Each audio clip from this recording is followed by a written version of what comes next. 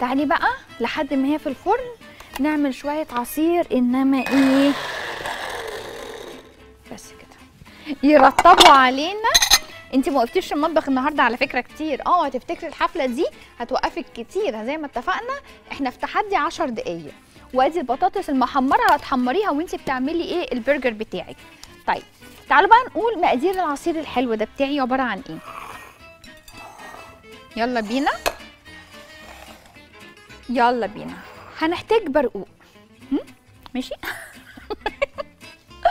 انت عارفين فكرتوني بإيه؟ مسرحية سهير البابلي ما توكلني. ما توكلني. برقوق فراولة كيوي عسل مكعبات تلج وطبعا للتزيين نعناع. الفكرة بقى في الربطه يعني إيه الربطه هقولك دلوقتي. أنا هعمل فراولة برقوق وكيوي. وتلج ونعناع وطبعا العسل الأبيض بتاعي ولو احتجت شوية مية. هعمل إيه بقى؟ بصوا بقى. بس ستوب يلا بينا هاخد البرقوق بتاعي. مهم. وهحط معاه فراولة. الله. وكمان شوية تلج عشان يبقى تقيل. أنا عندي الهيرو مين هنا؟ البرقوق بتاعي. ودي المية. والعسل.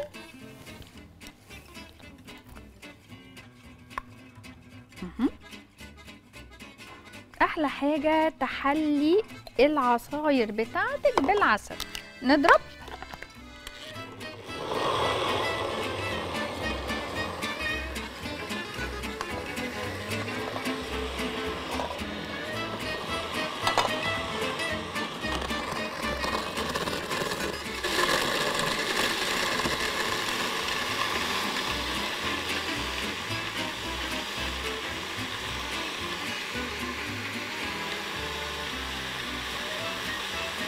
يلا. نركن على جنب ده. نعم. نركن على ده جنب ده. ليه أنا هعمل إيه؟ بصوا بقى هعمل إيه. هجيب ده كده وأحطه هنا. ماشي؟ بصوا اداني كمية حلوة قوي إزاي. خلاص؟ هشطف ده بسرعة كده. تمام؟ واجي تاني أحط فيه إيه؟ الكيوي بتاعتي. خلاص. واحط بقى شوية نعناع للخليط بتاع اهو الكيوي ده. خلاص؟ وطبعا العسل بتاعي. اهو.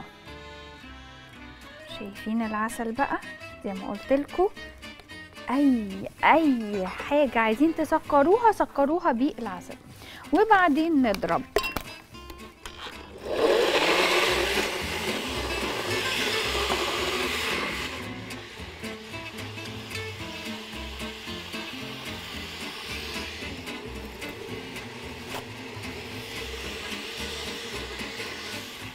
آجي بقى. يلا بينا. يلا بينا. بصوا بقى بص الأرقة دي. آه هحط التلج. ماشي؟ ماشي آه خلاص؟ بصوا بقى. معايا يا دكتور؟ لا خلاص. بصوا بقى هنعمل إيه؟ بصوا بصوا الاتنين مع بعضيهم. وننزلهم بالشكل ده. إيه رأيكم؟ إيه رأيكم؟ إيه رأيكم في الفكرة؟ بصوا عامل إزاي الكوباية؟ نص ونص. والله العظيم إحنا يعني ستات جامدة جدا. إحنا نعمل زي ما بيقولوا من الفسيخ شربات. أهو. بصوا. إيه رأيكم؟ لا أنا عايزة أسمع. لا لا أنا عايزة أسمع. آه وطبعا إيه النعناع بتاعي اللي ينزل كده يقول لي إن ال- ال- العصير ده أو السموذي ده متكلف. أهو. بس كده. خلصتي؟ خلصتي يا حلوة خلصتي. ده انت خلصتي وهتتشكري وهتتباسي وهتتحطي على الراس كمان. معقولة؟ لأ دي لازم تيجي ورا. معقولة؟ معقولة الكلام الجامد ده؟ أهي. تعالوا بقى نجيب الطاجن وأقول لكم bye bye عشان أنا خلاص بيقولوا لي أهو أهو. بصوا بقى الحلاوة بصوا الحلاوة والجمال. بصوا عامل إزاي الطاجن ده؟ أهو ده وجبة لوحدها. أرش بقى رشة البقدونس بتاعتي ورشة الصوص بتاعي. اهي صوصة إيه؟ صوص الرانش كده. عايزة أقول لكم بيديني طعم رهيب. بحبه جدا كمان في سلطات. بحبه قوي قوي في السلطات. بس كده. ودي كانت حلقة الخميس. زي ما متعودين تكون أكلات كلها من بره. وأهم ما يميزها إن هي تكون أكلات الأولاد بيحبوها. تيك اواي وسندوتشات وحاجات كلها سهلة. بدور لكم على قطف نعناع يليق بالوليمة دي أهو. بس كده. يا رب تكون عايزة أوريكم بقى الجبنة. بصوا بصوا بصوا مع مع ال- الموتزاريلا مع البطاطس. بصوا بصوا.